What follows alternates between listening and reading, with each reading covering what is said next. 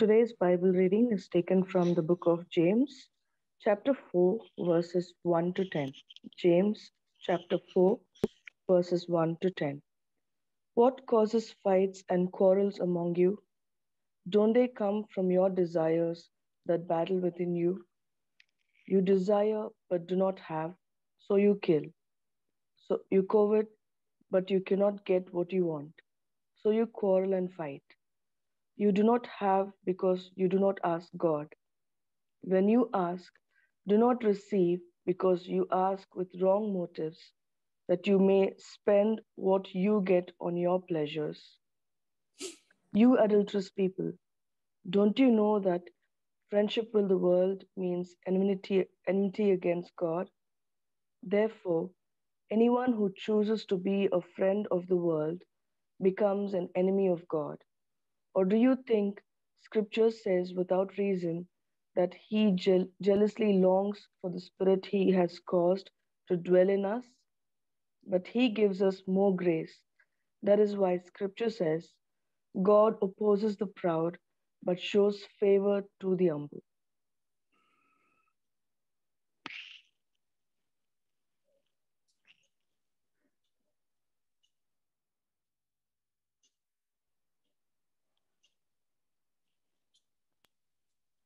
Submit yourselves then to God, resist the devil, and he will flee from you.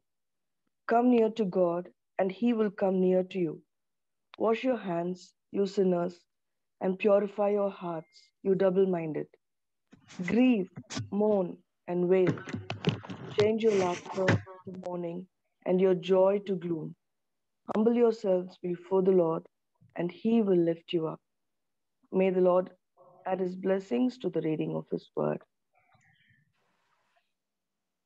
John Joseph Bachchan is an ordained minister with the Marthoma Church.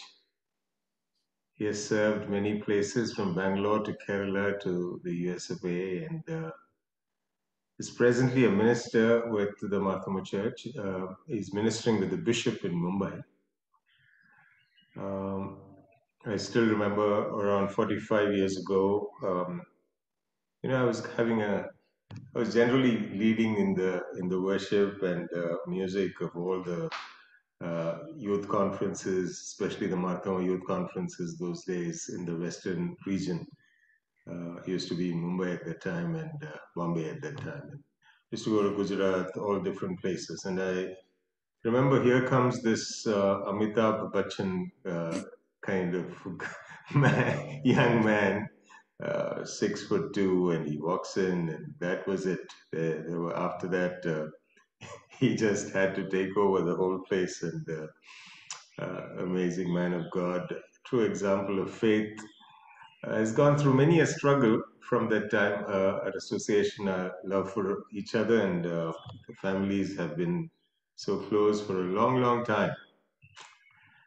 Through it all, his faith and uh, his amazing ways, his amazing example of trust and submission uh, with Kochuma and the children have been a source of uh, great inspiration and totally incredible example of proper posture, pro- proper position before God. We are indeed blessed to have this uh, passionately holy man of God to minister to us this morning. Reverend Dr. John Joseph. Thank you, Ruji. um, am I audible? Yeah. Perfect. One minute.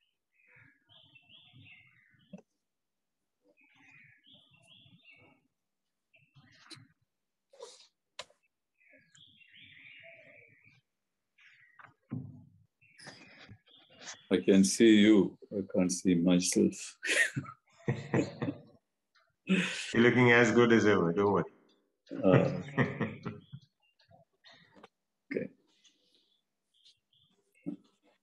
thank you once again for uh, inviting me to this prayer fellowship. Today, as you all know, is Valentine's Day. Um, I'm not here to wish you a happy Valentine's Day, but I'm here to tell you the secret or the power behind genuine love, agape love, the apex of love. I'd like to talk about prayer more than this relationship of love. We all are craving for genuine love. There is always that need because we experience superfluous love in our day to day relationship. But what gives you genuine love, that noble love, is based on our relationship with God. And that relationship is blossomed only through prayer. You look at Luke chapter 11, verse 1, the disciples went to Jesus and they were not asking for the recipe for how to break five bread and two fishes to feed 5,000 people. They didn't want to know the secret of how to walk on water or how to raise the dead or any of the miracles that Jesus did. On the other hand, they asked Jesus, Lord, teach us to pray the way John taught his disciples. We want to know how to pray because they have seen very explicitly and very profoundly how Jesus ministered. All through the day, he'll be with the people. There was public ministry through throughout night. Jesus was spending his time with his heavenly Father.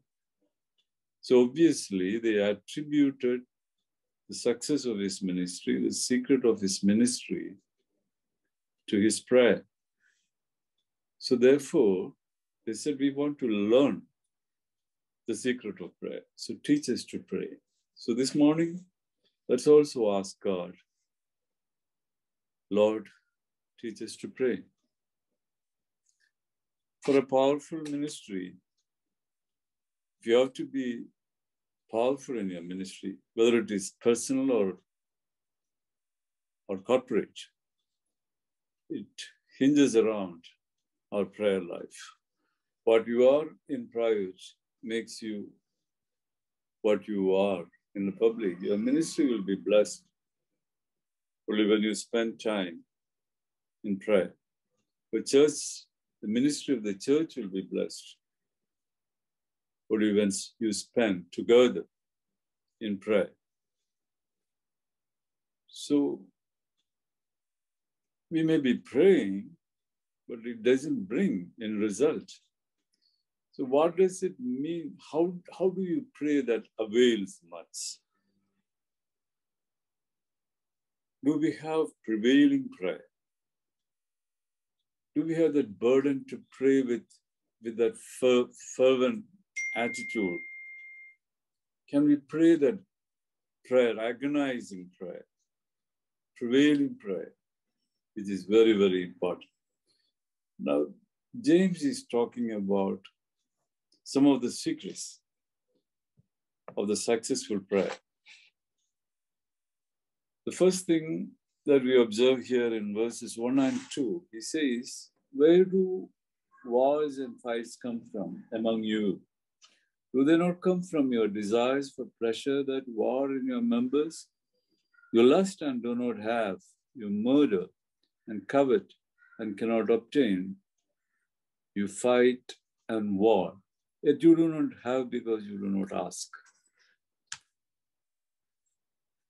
I may not be able to expose the whole thing, but I'll try to expand it to uh, expand it a little bit because of the constraints of time, constraint of time. We have avoided, we have forsaken prayer for various reasons. Today, especially,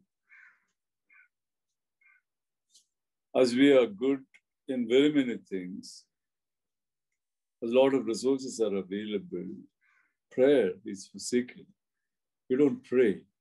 And James very explicitly, very powerfully says, you war, you scheme, you plan, you kill for your own achievements, for your own satisfaction. You want to achieve certain things in life, but you fail to gain those kind of things because you do not pray.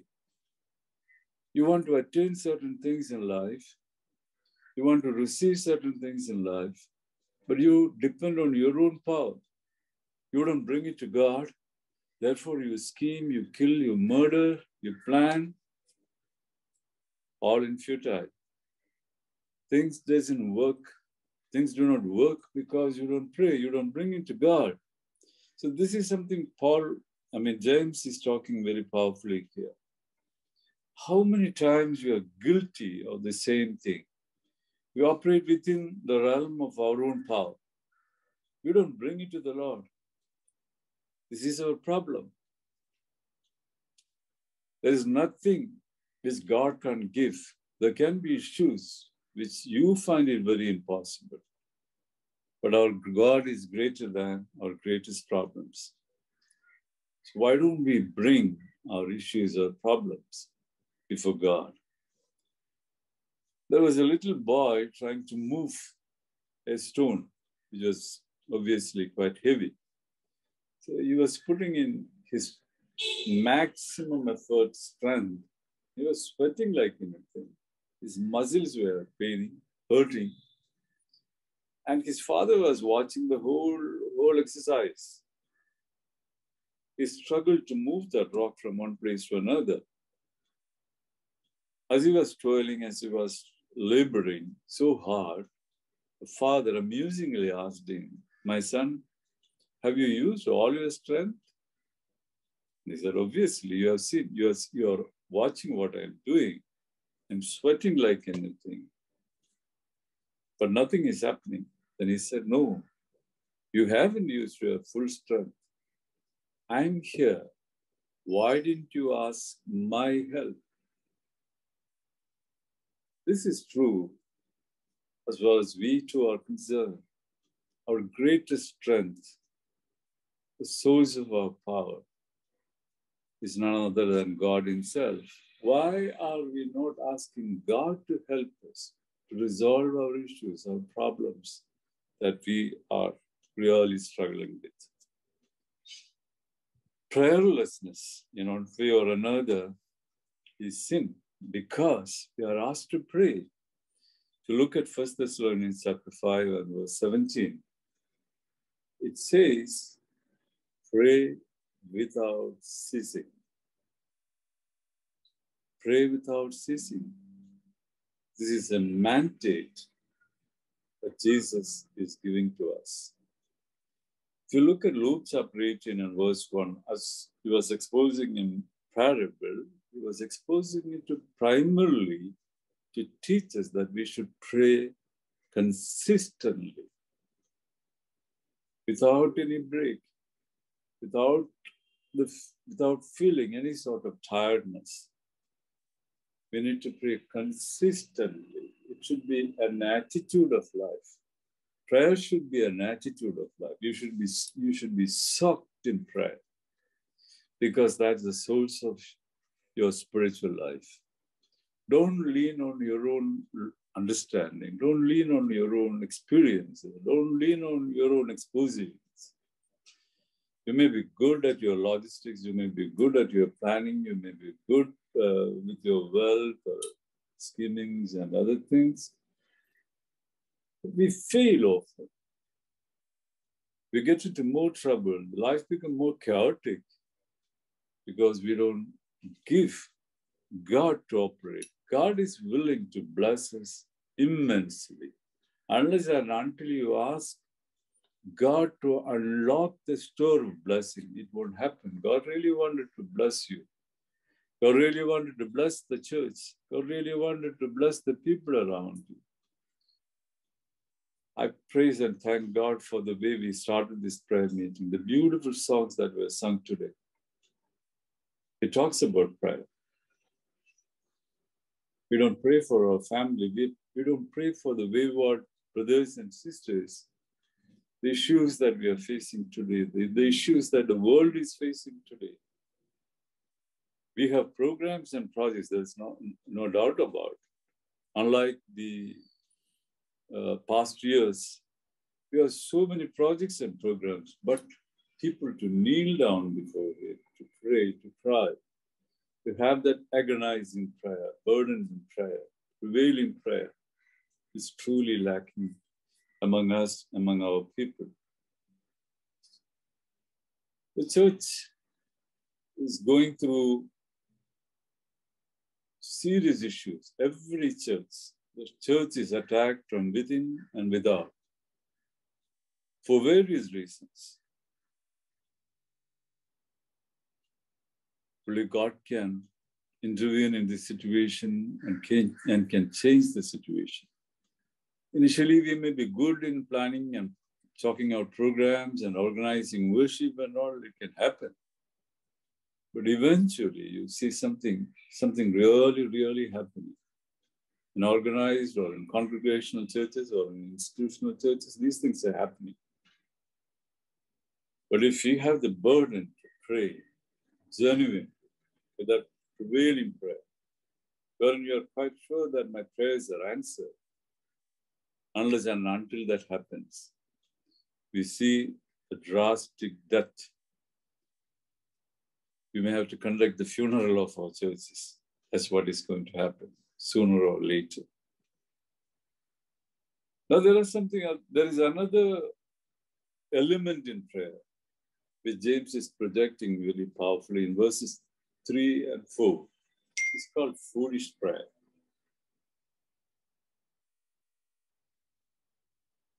Those prayers are prayers which focus on selfishness, self centeredness. You're not worried about the glory of God. You pray for yourself. So the priority should be seeking God's will first, God's priority first. I do things, I organize things, I plan, I scheme for my own sake. I'm the person behind it. When I, when I pray, I pray for my own needs. My burden is not the glory of God. Those prayers are foolish prayer. Don't ever think that God will underwrite your selfish prayer. He's not concerned of it, your prayers. Seek first his kingdom. That's why in Lord's Prayer, as the first part, Jesus is talking about God's name, God's kingdom, God's will. Then comes my need. That's the priority all the time. Seeking his kingdom, seeking his name, seeking his will. That means hallowing his name glorifying and participating in the furtherance of God's kingdom. Genuinely and diligently seeking His will. So, this is very, very important. Paul is saying, I mean, James is saying, you adulterers and adulteresses, I cannot answer your prayer because you pray with an evil intention. You love this world, you have a divided heart. And because of that, you come with, a, come with dirty hands. I cannot answer your prayers. Now think of a marital relationship. Husband and wife, they have love between each other. But sooner or later, she started loving somebody else. She spends her time with someone else. She loves somebody else. And he and she deliberately avoids this man. And whenever she needs something, for the sake of food, for the sake of a place to sleep, for the sake of for the sake of getting a car or whatever, or getting clothes, she comes back to her husband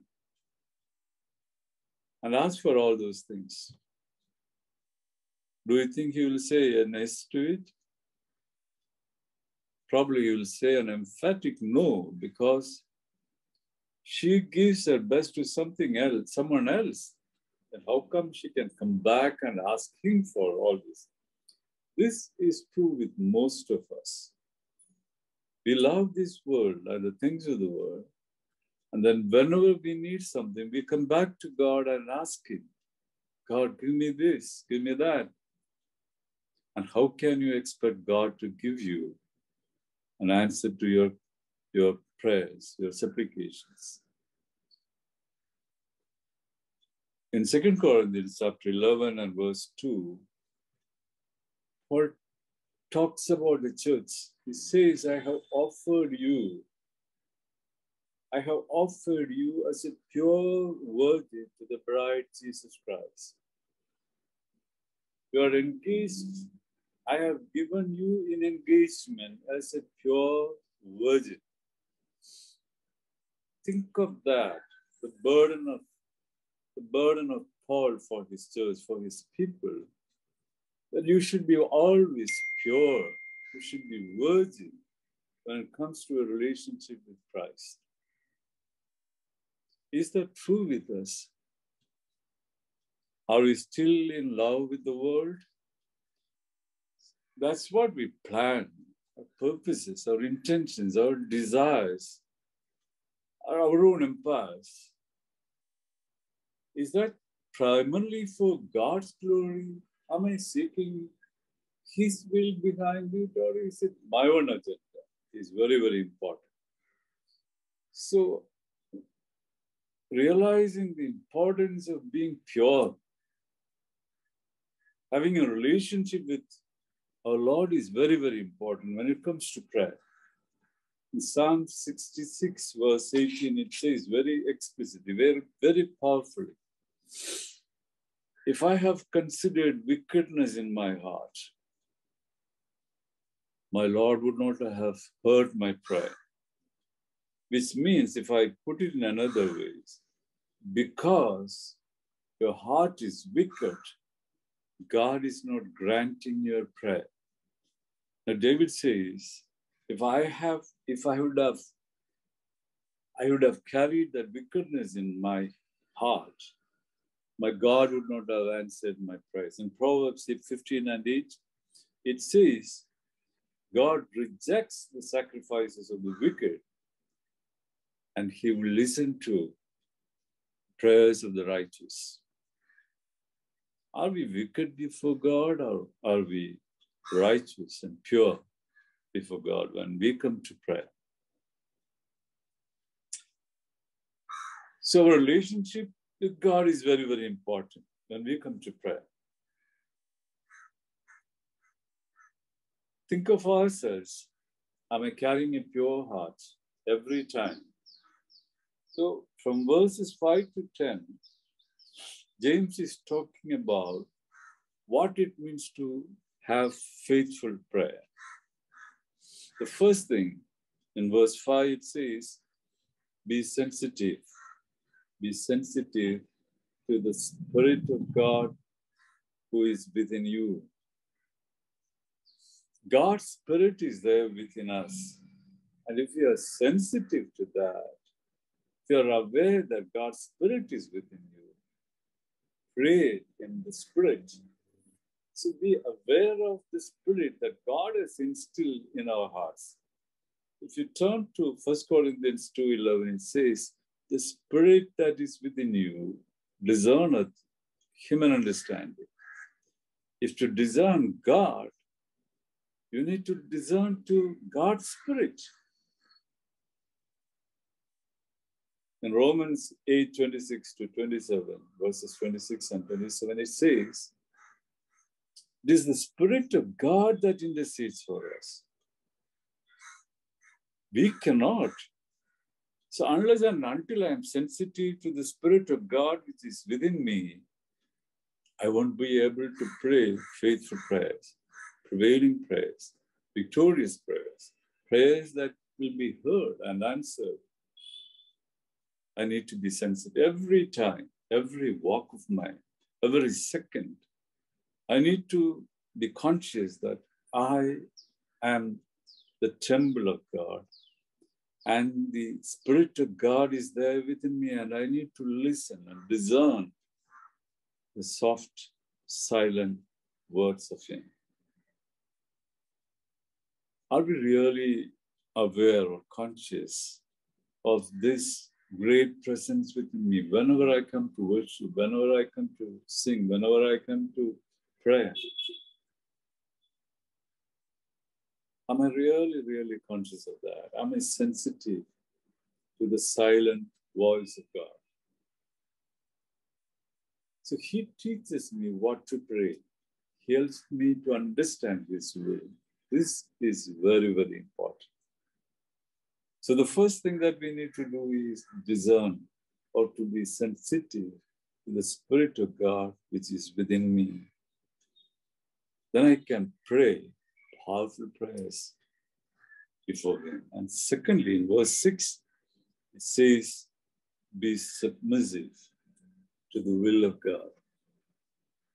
Be submissive, not only sensitive, but we need to be submissive to the will of God. The Spirit of God is granted to me so that I will discern God's will consistently in every spheres of my life, in every details of my life. Prayer is not merely putting some wish list before God, but it is primarily discerning God's will. It's not my will, it is your will. It's not bending God's will to my will, but lining up my will according to His will. This is the most beautiful experience that the more you sit with Him, you know what His will is for your life, for your family, for the immediate, immediate community, the community at large, for your nation. God wants somebody to really inter, in, in, in, intersect or to, to uh, really get into that relationship so that we will pray in His will so that God can unlock the storehouse of His blessing. And if, if you and I can be a part of that, seeking His will, it becomes heaven. Heaven is heaven because it is God's will everywhere. Therefore, it can become a reality in our lives or in our family when God's will is universal, consistent in every nook and corner of our lives. So let that happen, seeking God's will all the time. Hallowed be your name. Let your will be done on earth as it is in heaven. So we need to continuously ask God to reveal His will. When we come to a place where we are willing to come into His presence humbly and broken, God will answer our prayers. It's very, very important. Thirdly, in verse 7, it says, Be steadfast in your prayer. This again is very, very important. And I'm really struggling in this area when it comes to prayer you know, in my personal life. As I said before, prayer is not a very easy task. It's not just coming like and then sharing your wish list and getting out of it. Many times we don't even remember what we pray. But the word of God says it's a war. Steadfast prayer is a war. Now, if you turn to Ephesians chapter 6 and verses 10 to 20, it talks about the armor of God. Put on the armor of God. Now, the beautiful thing in the whole, you, when you come to verses 17 and 18, we are asked to, before that, we are asked to put on the armor of God. And then we are asked to pray which means you are putting all the required armaments, protections, and then you are entering into a war by prayer. So prayer is always a battle, a war with devil. That's why we find it extremely difficult to pray genuine, faithful, victorious prayer. God, devil is not bothered about my programs. He is not bothered about my preaching. He's not bothered about my church ministry. He's not bothered about my programs, my projects. He is least bothered of all my projects and programs. But he is concerned the moment I am on my knees, when I start fighting with him through battle, through, through prayer. Many of you have seen that movie, beautiful movie called War Room. That lady gets getting into her closet and praying, and she has she has given that closet as a war room. Here is a place where I fight, where I battle with the devil. Are you really tired when you come out of your, your prayer room? Do you ever felt the feeling that I have really fought? For us, it is a very easy task because for us, it's not a war. It's only simply sharing my wish list. you always say, I, I threw my need to God, now it is God to take care of it. No, that's not genuine, faithful prayer. Prayer is always a war with devil. So the moment you make a decision to be a prayer warrior, devil will oppose you tooth and nail. He doesn't need anyone. He doesn't want anyone to pray that prevailing prayer. That prayer which is a war, a battle with him. A prayer that participates in the power of God to accomplish his kingdom that can that will happen only when it is a war with devil. So let our prayers be steadfast, a war with devil consistently. And in verse 8 it says, be separated. Be separated. You are holy. So as I said before, don't come to God with dirty hands, with divided hearts, or with double mind. You need to underline that Psalm verse, the verse in Psalm 66 verse, and verse 18. You cannot have two worlds when you come to Him. In Matthew chapter 6, verse 24, you can either serve God or the devil. You cannot serve either or. You can have only either or, not both.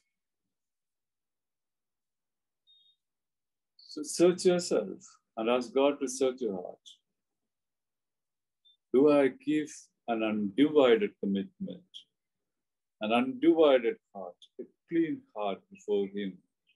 In Second Chronicles 7:14, it says, it's a beautiful verse, and most of us know particular verse because of the current pandemic situation.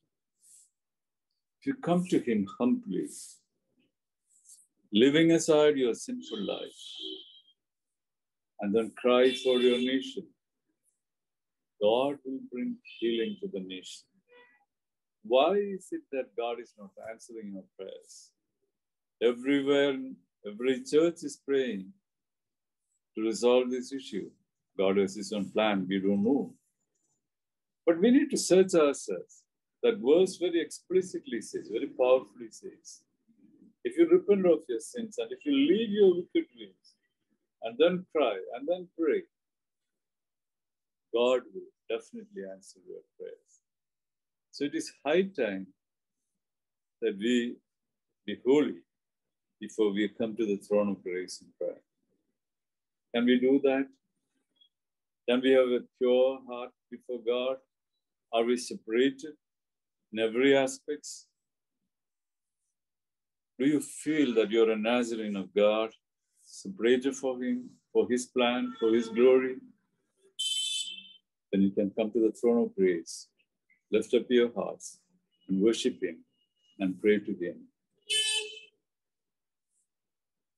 Let me conclude by focusing on verse 10 for a minute. It says, Be sincere when you pray. Be sincere. As I said, when is the last time that you had an agonizing prayer? When is the last time you shed tears when you prayed? When is the last time you fasted and prayed? Some of the major issues that is around you. In, this, in that particular song, he says, I, I bring my family, I, my, I bring my dear ones in prayer. I struggled with them, but of no use. But only prayer can save them. When was the last time your eyes were filled with tears when you prayed? In Second Chronicles 32 and verse 20, we can read about the prayer of Hezekiah. He prayed with prophet Isaiah when there was a war between Israel and some other foreign countries. As they were about to fail in that war, they cried that agonizing prayer. God answered their prayer. Hezekiah, King Hezekiah, with prophet Isaiah cried before God, and they found the result. James in chapter 5, verses 16 to 18, he talks about Elijah, how he prayed. And in fact, James gave an introduction to Elijah. He was a man like us.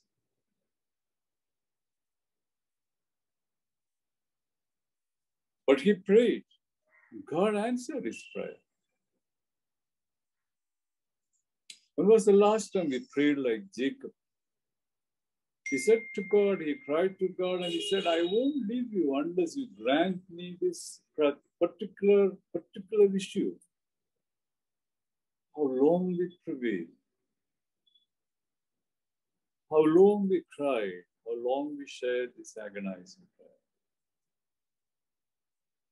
More than anything else, what the world needs today is a group of people group of believers who can, through not only darting prayers, consistent, faithful prayers,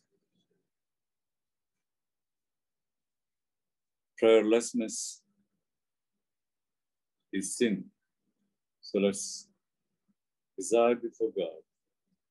Let's, be, let's commit ourselves and tell Him that I want to be a prayer warrior so that God will open up his storehouse and bless our nation, bless our dear ones, bless our church, bless our community.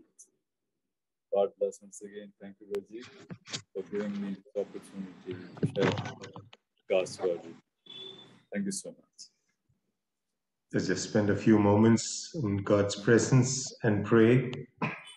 Very special day that the world has appointed as a day of for love.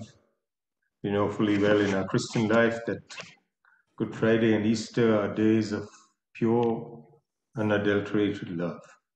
Today, as we look for God's unfailing love, may we be filled with love for one another, for each other, as we live in homes where there's struggles. Help us to, Lord, to be patient, to be kind, to envy less, to boast less, to truly be humble, to honor one another and not be selfish. We know, Lord, that there will be differences of opinions, there will be conflicts in our homes. Help us not to be overbearing, help us to be flexible and uh, accommodating and respectful of the our life partner's point of view. Help us to agree to disagree. Help us to make you the center of our relationships, Lord, that you are the one that watches over our future. Every aspect of your provisions to love and bless one another needs to be acknowledged. Help us, Lord, to shape our conversations, our communication. As we discuss our relationships, help us to share our experiences, help us to share our faults and our frailties and our opinions and our hopes and our dreams. Help us to be real about who we are to each other